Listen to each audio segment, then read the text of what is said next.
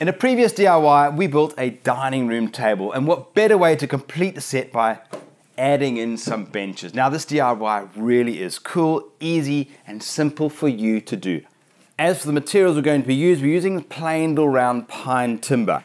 We've used one length of 1.8 meter, 69 by 69 planed all round pine. We've used two lengths of 2.4 meter long, 69 by 22 millimeters planed all round pine and we've used a 32 by 305 by 1.8 meters long planed or round pine shelf. Get the guys at Builders to cut all the timber for you as per my cutting list as it's part of their service.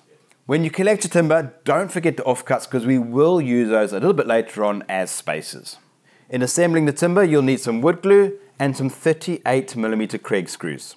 As for the tools you're going to use, a Kreg jig and a cordless drill driver. Now, as you can see, it's quite a large size bench. So if you don't have space in the workshop, you can actually use the bench top as your working surface. Let's get started. Let's move all this stuff out the way.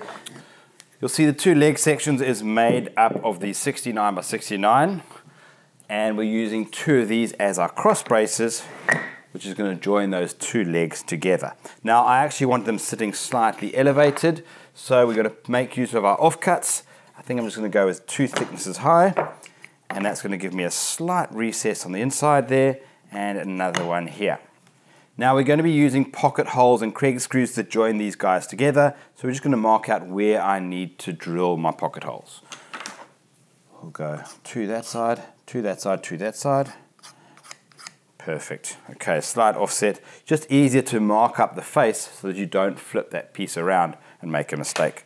Right, we've got two of those to do, and we've got two sets of legs, so we might as well mark up the next two as well. Right, four pieces of that.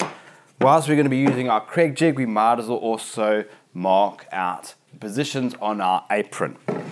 Now, our apron is going into the side of the leg, so we will need two Kreg screws on either end. And I'll just go middle, slightly off, Happy with that. So I've got evenly spaced Kreg screws. They are going to be hidden, so it doesn't matter if you don't have exact positioning. As long as you have roughly even spacing, then you'll be okay. Now I'm using the K4. You can use any one of the Kreg jigs to make your pocket holes. I always find it much easier just to clamp it down on the table. Stops it from wandering around. And then we're just going to drive all the way down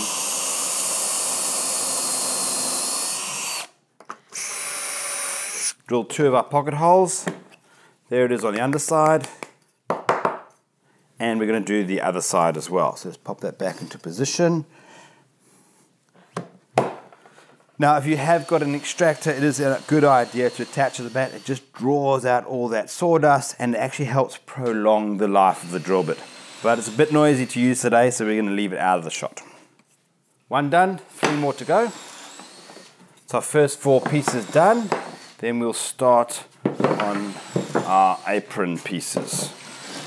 Okay, concentrate on this bit. Make sure you are drilling on the right side, the same side as the end holes that you've put in. Using the sight lines I put on the top. That's going to go in there like that.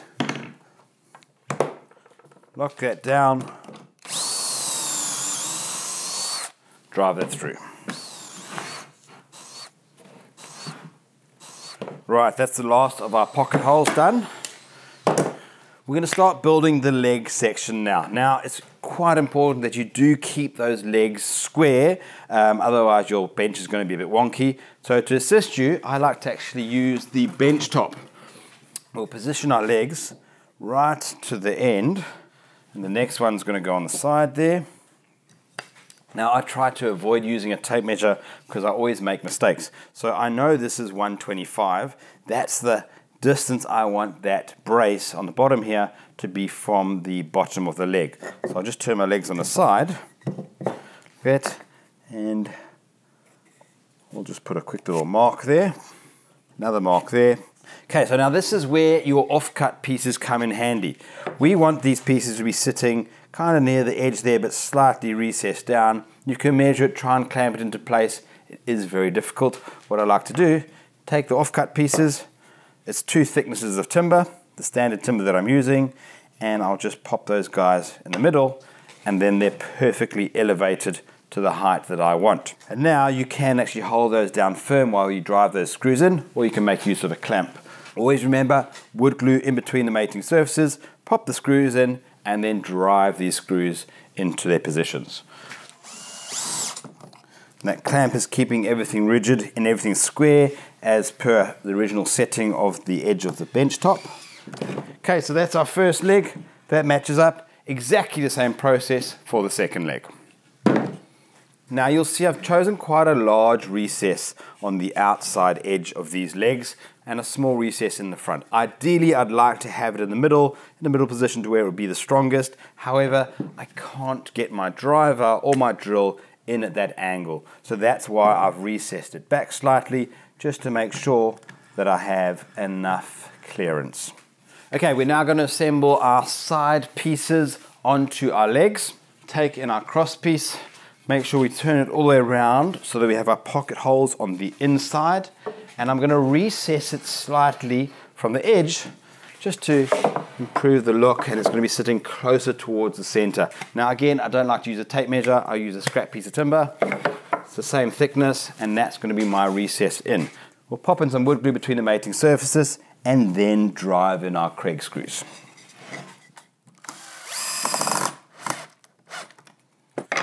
That's it, you'll see the one leg is joined onto that side piece. Exactly the same piece for the other side.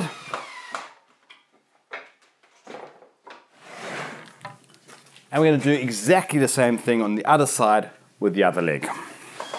Okay, there's the bench frame and legs complete. Very simple, easy to do. All we can do now is put some wood glue along that full perimeter of that apron and on the bottom of the legs and then position it in the middle of the board and fasten it down with some more Kreg screws. I'm going to make use of my clamp just to clamp it down nice and tight. Okay, first screws in now. I find it easier to actually do the opposite sides as well, just to stop any movement as I work my way down. So that's nice and tight. And then we'll go across to the other side and do the same thing.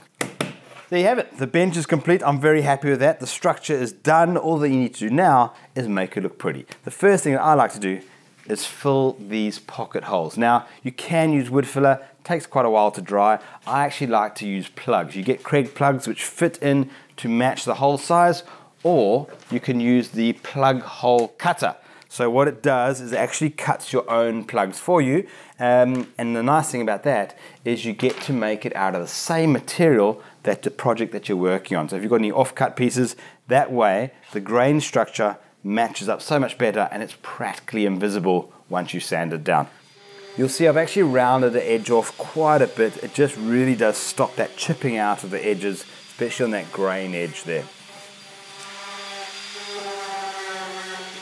Right, once you've got it sanded all down, you're happy you haven't got any sharp edges, any splinters or any burrs, it's now time to seal it. Now when sealing it, it's important to seal the underside of the feet because if it's going to be outside and open, that's the bit that's going to get wet. So you want to try and seal that off so the water doesn't penetrate all the way up through the grain. Okay, Regarding the sealing, you can seal it to any color or stain or type that you like. I'm going for the Fired Earth range, really cool stuff. I'm gonna go white on the underside and mahogany on top. Now I'm gonna start with the white first. Now you'll notice I've flipped it upside down because these are all the components that are gonna be white. It's much easier to work like this. Now you'll notice I haven't filled all these plug holes because it's on the underside of the bench, so there's no need. If you want to fill them, you're more than welcome to but it does mean extra work. Do that top piece first, and straight away when you're working on the end grain, you'll see that paint suck into that grain immediately. So I put a bit of extra on there, allow it to really penetrate into that footing. Haha, my bench is coming to life. Let's flip that over. Whilst that's drying, we can start with the mahogany on the top. Now remember, we're going to do at least two to three coats on the top. The more you do, just the more it's going to actually bring out the darkness of the stain and it's also going to help prolong the life of the timber. Now when applying your sealer or your stain, remember always go with the direction of the grain. It just helps blend in with the brush strokes. And if you are going to be doing this outside, make sure you're not doing it in the sun, especially this water-based sealer. It dries very quickly in the sun and you want it to dry a little bit slower, especially when you're applying the stain itself because you actually want it to blend in.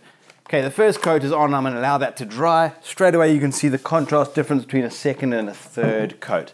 So guys, this DIY, it really was easy to do and you get to use your Kreg jig. So click on the link and it'll take you directly to the Builder's Bundle page, allowing you to put all the items that I just used for this DIY into your basket, take it home and get started with your DIY. If you enjoyed this clip, like it, share it. You can also subscribe to the Builders Fan YouTube channel. There's a range of product reviews and DIYs just like this for you to be inspired, give it a go, and get it done.